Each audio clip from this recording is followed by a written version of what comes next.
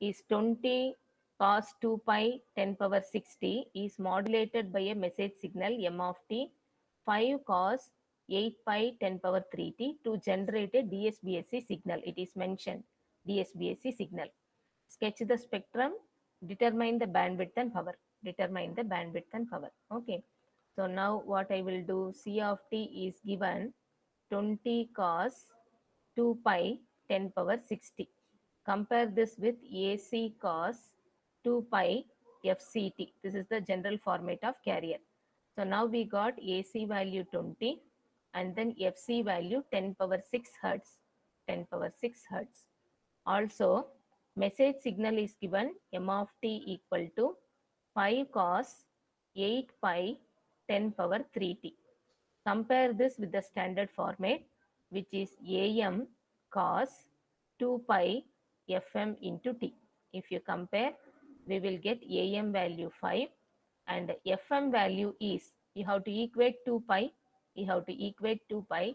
So 4 into 10 power 3 hertz, 4 into 10 power 3 hertz. This is the message frequency. This is the message frequency. Okay. So now if we go for the spectrum, preferably single tone modulation spectrum only we will consider in maximum cases S of F and here it is FC, FC plus FM and then FC minus FM okay? And minus FC minus FC plus FM other side minus FC minus FM and the pillars pillars AC AM by 4 and AC AM by 4 carrier component not present because it is DSBSC. Here also the heights are AC AM by 4 and AC AM by 4. Okay. And now we will exactly calculate what the values are. This is spectrum of DSBSC. Spectrum of DSBSC. Okay. So now carrier it is 1 mega. Carrier is 1 megahertz and this is 4 kilohertz. 4 kilohertz. So I will put this is 1 mega. Okay. 1 mega can also be written, written as 1000 K. 1000 kilohertz or 1 megahertz are same. Okay. So I will write it as 1000 K and the plus FM means this is 1000 plus 4, 1004 kilohertz and 1000 minus 4 means 996 kilohertz. 996 kilohertz. Now minus FC means minus 1000 K and minus FC plus, okay, plus 4. Plus 4 means it will come minus 996 K. Minus 1000 minus 4 means minus 1004 kilohertz. Okay, frequencies I identified. Now coming to the heights, coming to the heights, AM AC divided by 4 means AM value 5 we got, AC value 20 divided by 4 cancel it. 5 5 is a 25 okay. So this height is 5 volts. This height is 5 volts. This height also 5 volts. This height also 5 volts. Okay. So all the pillars height is 5 volts. This is about the spectrum. So what we have completed is spectrum. Sketch the spectrum. Okay. Sketch the spectrum. Completed. Next we will go with the calculations. Determine the bandwidth and power. Determine the bandwidth and power. So bandwidth means we have to take the positive side, higher cutoff frequency, lower cutoff frequency. Okay, higher cutoff, lower cutoff. And bandwidth calculation, it is higher cutoff minus lower cutoff. Higher cutoff value is 1004, 1004. Lower cutoff value is 996K. Both are K.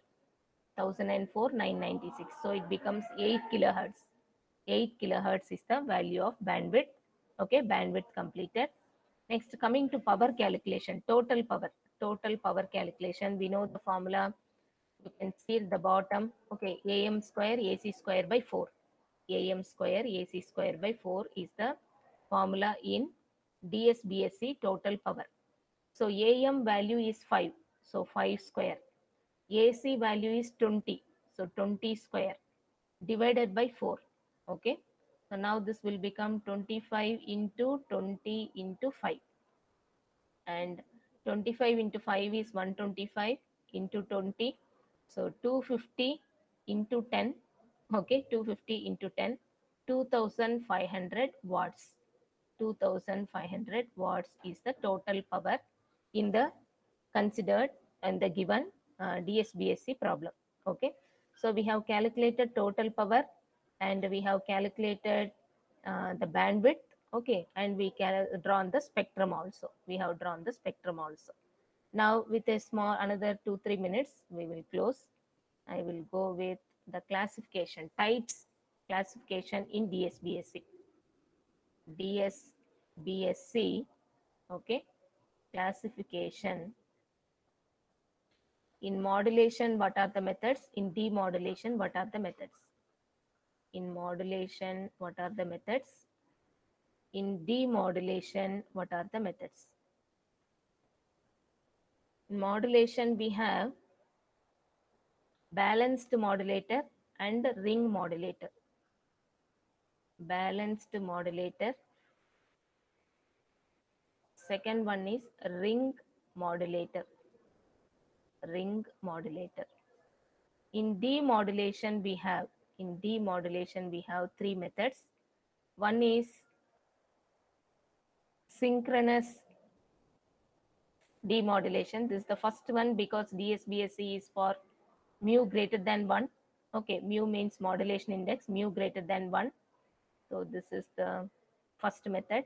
Second method is same envelope detection is available. Envelope detector is available in dsbsc third one is non-synchronous demodulation. Non-synchronous demodulation.